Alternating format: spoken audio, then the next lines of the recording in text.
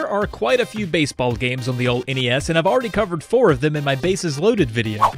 Today, we'll be covering three more, this time in the RBI Baseball franchise, which still lives on today.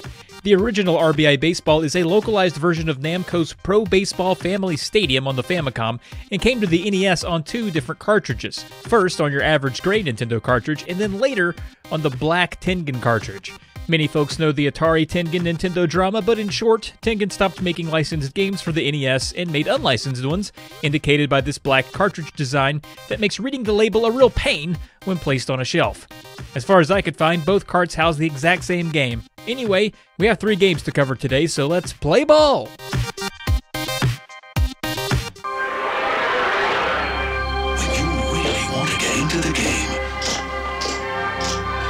RBI Baseball. The only video game licensed by the Major League Baseball Players Association for your Nintendo. It's you and the pros for Roger Clemens here. Flash Vince Coleman the steal sign. Let Gibson swing for the fences. It's going, going, go! RBI Baseball, the one the pros pitch.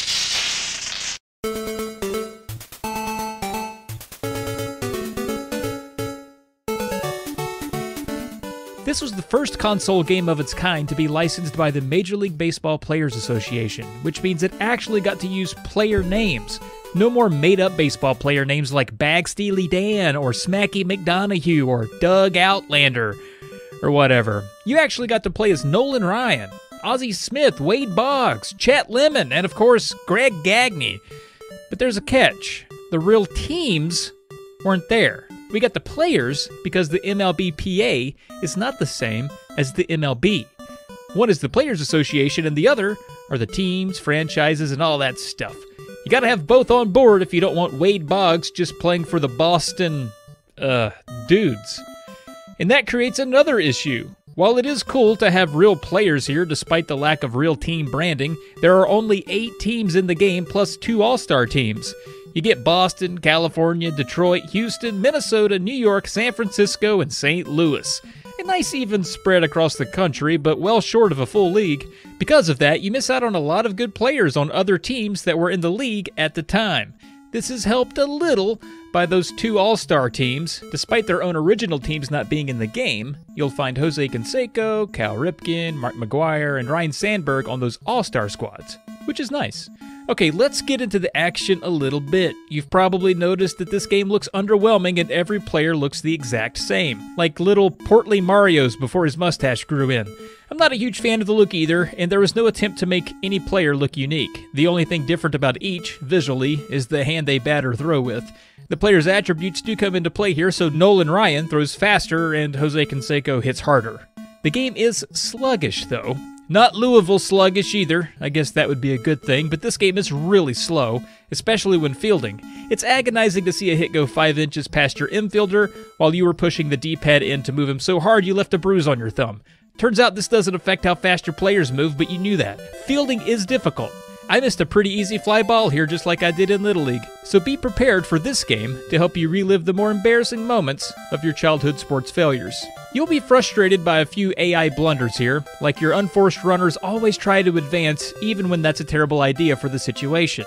This is true all the way through the series. Apparent foul balls are ruled fair sometimes, and fielders will just run around against your will. There's a two player mode here as you would expect. You can play a season 2, and it kind of happens automatically. If you select to play one game and win, you move on to the next team. You have to beat each of the nine opponents. You can lose a game, and it's no big deal, you just have to eventually beat them all. It's a neat way to do things on the old 8 bit system that wasn't quite ready to toss you into a full season. With two players, you can engage in a best of seven, so you and a friend can go head to head for about three hours, if that's your thing. There's also a mercy rule that is enacted immediately upon a 10 run margin, no matter what inning.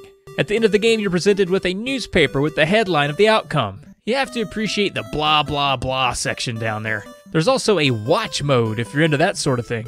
Interestingly, you can still manipulate the action of the players. You can bat, pitch, and field, or you can put the controller down and it will just do it for you. I'm not sure what the purpose of this is, but if you want to kinda play a baseball game and kinda not, then I can't think of a better way to do that. All in all, for a first time outing, RBI Baseball has some things going for it. You can do just about anything you would expect here play a season, pinch hit, steal bases, pick off runners. It's way more sophisticated than it looks, I guess is what I'm saying, but it pales in comparison to its successors.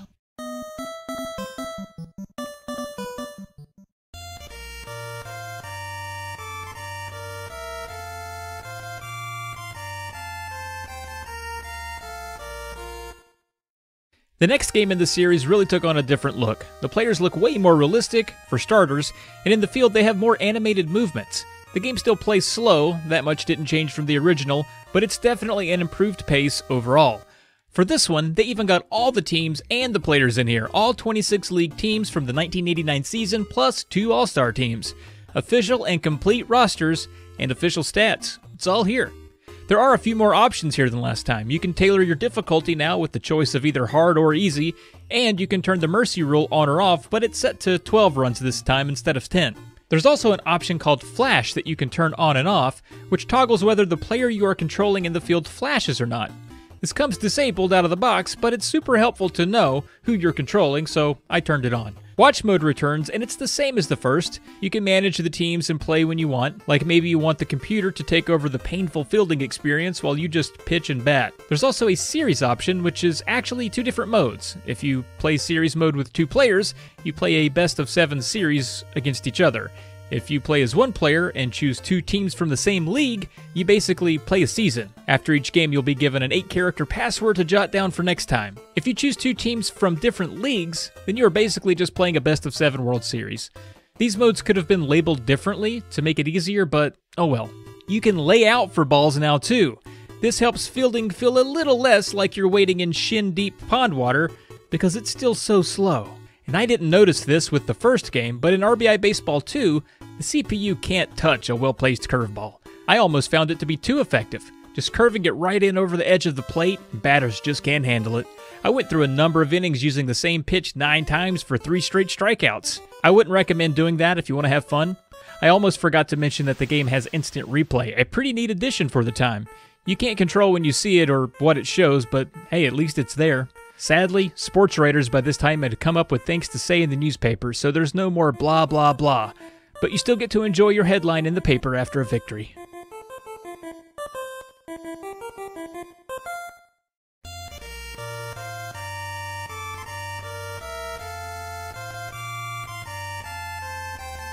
On the surface, there's not a ton noticeably different between RBI Baseball 2 and 3. The presentation, animation, controls, and modes are basically the same. This is as close as a yearly Madden update to a game franchise you'd get in this era. It's not completely the same though. For example, there's a ton more teams to choose from. In addition to, once again, having the league's full 26 teams and their rosters, and the two League All Star teams, like RBI Baseball 2 had, RBI Baseball 3 adds some historical rosters that are complete with player names and relative abilities too. These historical teams are ones who won their division in the seasons between 1983 and 1989.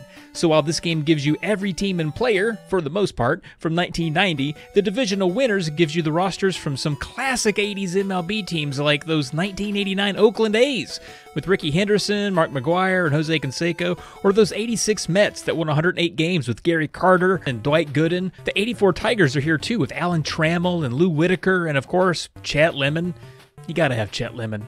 So all that is pretty cool, and it's worth mentioning that the manuals for both RBI Baseball 2 and 3 have a full list of rosters with stats included. This isn't entirely unique, Bases Loaded 2 did the same thing, and it came out the same year as RBI Baseball 2, but as a manual nerd, I always appreciate the extra effort they put in to include this stuff on paper.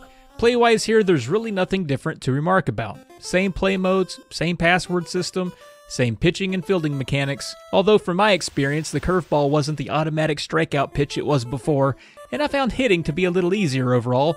I got an inside the park homer on my first at bat, so that's something. Once again, you can beat the game by starting a one player game and you'll automatically move on to the next team, but in this one, the final team you face to win it all is a little different. Instead of a World Series against another MLB team, you close out the year against the super secret Tengen team.